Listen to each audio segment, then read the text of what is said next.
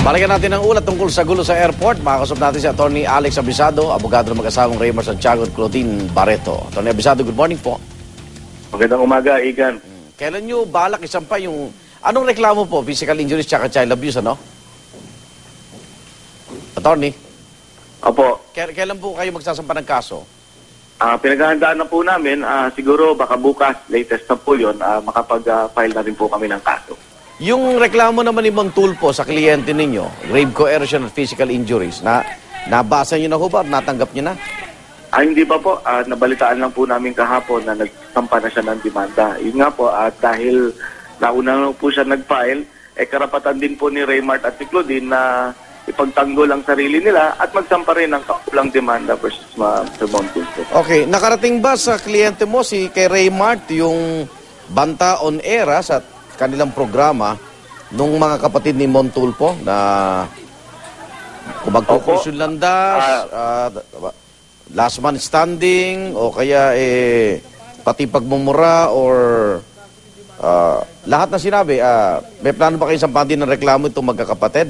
Napanood po nila kahapon yun na in fact ah, sobrang affected nga ho si Claudine sa sa mga threats na na natanggap nila. Oo. At ah, pinaghahandaan na rin po namin, uh, dinodocument po namin ho yung nangyari ah, because ah, legally actionable din po yung mga Ano anong statements posibleng na yun. kaso? Although, ah, naiintindihan din po namin na, sabi nga ni Raymart, naiintindihan din naman niya na Mataas yung emosyon. Ah, Opo, mataas ang emosyon at mga kapatid yun, at dinidepensahan lang nilang kapatid nila. The same way na sana rin po maintindihan na nila na dinidepensahan lang din po ni Raymart yung kanyang asawa. Okay, pero bukod dun sa on air, at least napapanood ng publiko, wala naman siya pagbabanta na tinatanggap na sa kampo ng mga tulpo ng, ng wala sa ere, ika nga. Hasta ngayon, ah, wala pa po. Yun yung, ah, yun bukod doon lang doon po doon sa napanood nila kahapon. Oho. I- ikaw bilang abogado, Tony, ano ba mga posibleng kaso nun? Ah, ganito po, eh, una ho kasi, ah, doon ho muna tayo doon sa main case doon sa nangyari. Oo. Ah, pinaghahandaan ho namin yung physical injuries case, pati na rin po yung ah, violation ng child abuse law dahil doon po sa emotional ah, trauma na na-experience ng mga bata na sa harap nila ay sinasaktan yung kanilang na. Okay. Bukod po doon, may physical injuries case din po ah, si Raymart doon sa kanyang ah, natanggap na ah, injury at ah, siguro ito nga huli yung mga grave threat. Okay, sa kwento ba, sino ba unang lumusob kay Montulpo? Si, si Gretchen ba o si, o si Claudine ba o si Raymart?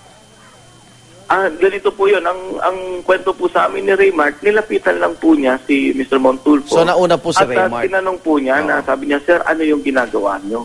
At bigla na lang po siyang ah, sinuntok at sinipa. Yun po Tapos, yung naging ah, Doon na pumasok si, doon na pumasok uli si Claudine na kinukuha yung Ah, cellphone. Opo, nung lumapit na po si Claudine at ah, tinanong niya, bakit mo sinaktan yung asawa ko? Doon na rin po siya biglang tinulak at sinipa. Asini pa rin. Kaya po, Igan, itong video na na- na- na-upload sa YouTube, ito bandang huli na po ito. Eh. It does not do justice to what really happened. Dahil Reaction na hindi po lang yan. nakikita dito, opo, yung mga naunang incident. Kaya nga po, y- kami sa kampo ni Raymart at Claudine ay nag-request po kami officially ng kopya ng CCTV nun sa NAIA Terminal 3. Wala. Wala nga pong- po, ang wala pong- nakakalungkot hindi dahil ang gumagana. sabi nila, hindi raw po gumagana Oo. yung kanilang CCTV. Yung CCTV footage po sana makapagpapatunay kung sino nagsasabi ng totoo.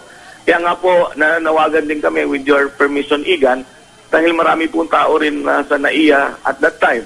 Baka ho, meron ho, nandun ho kayo, may nakuha kayong ah, video sa inyong mga cellphone, ay sana lumabas din po kayo dahil makakatulong po yon sa pag-resolve ng kaso ito. Okay. Maraming salamat po, Attorney.